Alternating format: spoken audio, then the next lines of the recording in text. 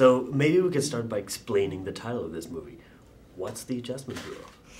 Well, the Adjustment Bureau is uh, fate, essentially. Um, the concept, original concept in the Philip K. Dick story, which was the Adjustment Team, is that uh, when we get a little off our path, uh, where we're supposed to be, when we're not heading down our fate path, uh, men come out and push us back on.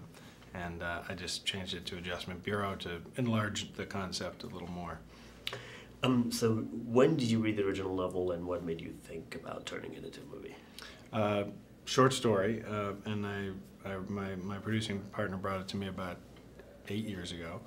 Um, and uh, said, "What about doing this uh, as a love story? Because the, the, short story is really just a guy who sees behind the curtain and sees that fate is a group of people. They're not wearing hats in the short story, but um, and uh, and then he goes on the run, and uh, right away from from hearing that pitch, uh, that concept of a personified fate."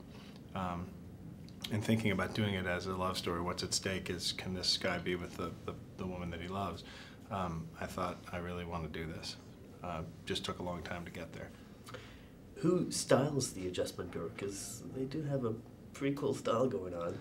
Um, well, the the idea for uh, having them be in suits and hats is, is basically uh, uh, that Matt's character as a politician is going to often be in a suit and they need to sort of blend in the background.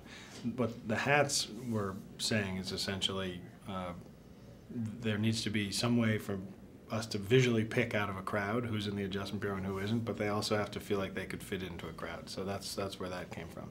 And my awesome costume designer, uh, Kasia Walicka, did the uh, did the costumes.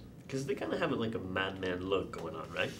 Well, they're what we ex explicitly did not want to do a particular age, so they're not really suits from the 40s or 50s or 60s. It's a it's a blend. That was that was the idea. Um, what's it, what's your relationship with Matt Damon? You worked with him many times. Um, can you can you talk a little bit about the process of, of casting him and, and having him in the movie?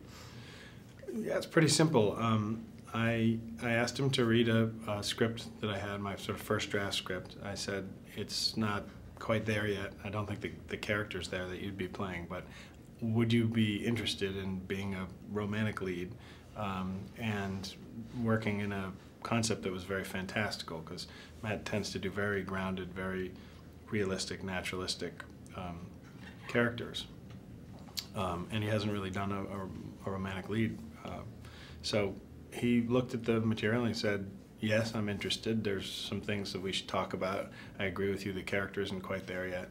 We had some conversations about it, and uh, when I found the next big block of four months of time, I rewrote the script, gave it back to him, he said he was interested, and here we are.